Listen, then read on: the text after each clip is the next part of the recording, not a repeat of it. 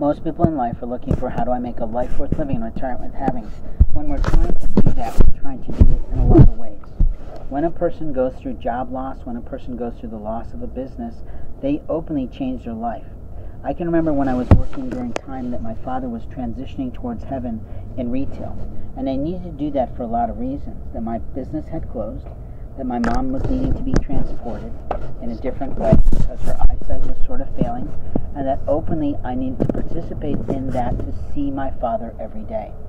When we talk about real life, we talk about how the people of our life change our lives, shift our lives, and sometimes complain about our lives. But a person's complaint about a life that is outside looking in is not the same as a person who's living that life looking inside out. A person might have high hopes and big dreams, but that doesn't mean that in American culture we can't achieve those things. People often say that someone's a dreamer. Well, here's the deal. According to our American president, the world is full of dreamers and they're welcome here. So when we're talking about life in the real world, we're talking about what do you want for your life? And if your life is mar- marvelously content in the position you're in, super. I'm glad for you.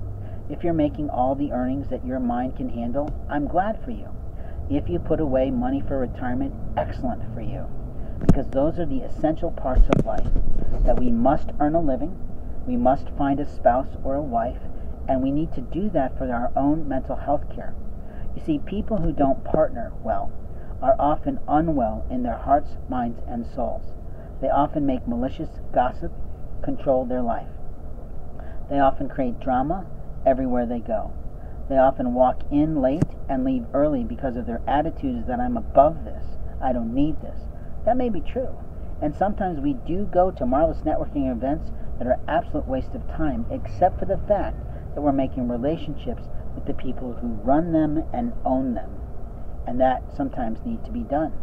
But what I learn about people the most is how much tolerance that they have for the own reality of life. That in a time of COVID, in a time of epidemic and pandemic, anyone can possibly lose their life.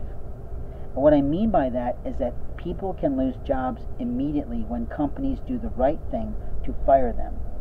Good people can also lose their jobs when the wrong people interfere with their lives and complain about them because they make them feel insufficient, unproductive, and underperforming, which might actually be factually true. What we know about the world today is that there's all kinds of people out there. There's all kinds of opportunities out there. But finding those opportunities requires someone to be online with a portfolio or with a resume or with something that HR directors and recruiters can see today. And those people that interfere with lives, that don't want people to be successful, will often steal, lie, and cheat people out of their actual rights.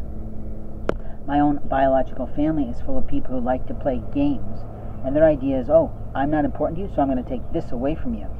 Well, I'm sorry, motherfucker, but you're not in my life. You are not my lawful spouse. You are not even a first party relation to me under the law. So you really don't have the right to comment about my life from the sidelines when I barely talk to you at all. And other people who are strangers also don't have the right to presume that they are in danger just because they might see me upset with the hundredth person who's trying to come up and give me something that I'm allergic to in food. We have monstrous groups that like to believe that they are policing the community for things they don't like. But here's what I absolutely know about those people is most likely they received either a piece of false or truthful information that at no time under the constructs of our social networks would they have any ever right to know.